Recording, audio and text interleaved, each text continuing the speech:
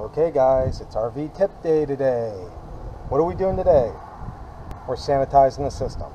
But today it's not all about the sanitizing of the system because I'm not going to show you all that stuff you probably already know, like add bleach to your system, turn on your water valves, let it sit, all that stuff. All I'm showing you today is, is if you have a similar coach to mine, to where you only have two water ports like this, a city connection, and a fill with no other ways of filling your water, no other ports around the RV, then this tip is going to be helpful for you. Because what Coachmen says is you need to go through the winter, winterizing technique to add bleach to your water system, which means you open up the bed, you get access to the water pump, you put on your connections, and then you literally suck or pump the fluid into your system. And then from there, you got to turn on all your stuff just like you would any other coach. Now, with this particular coach, though, I believe in being simple. And simple to me is is grabbing your water hose, making sure it's completely empty. Okay, rehook it up. You're going to go to Walmart or any other automotive store or whatever and get you one of these. Not necessary, but this is what I use okay? It can be hooked up to gallons or, or, or quarts. This only is being used for this. I don't eh, mix oil with this type of stuff. This is just a clean funnel okay? You're going to get a lot of people that are precise. And what they'll do is they'll put like a quarter of a cup of, of, of bleach to 15 gallons of water. It's not that serious guys.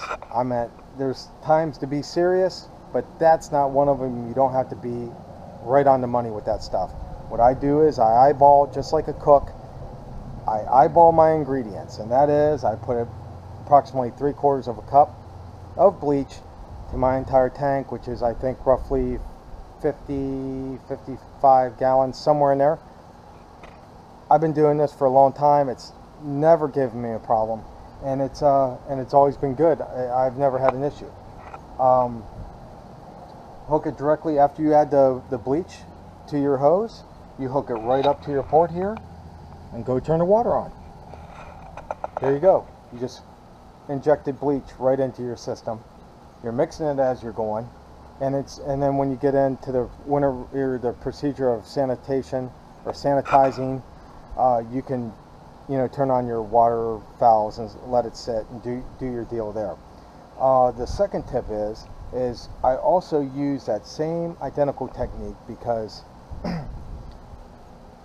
this doesn't have a black tank hookup to where I can scrub the black tank out. My bathroom is literally on the other side. I have two gate valves to open it. One's electric and one's manual on this side. And for me to hook up any device on the outside of here and try to flush it all the way the other side and up on an angle the way this thing's ran would just be a nightmare. Like I said, once again, simpler is always better in my mind.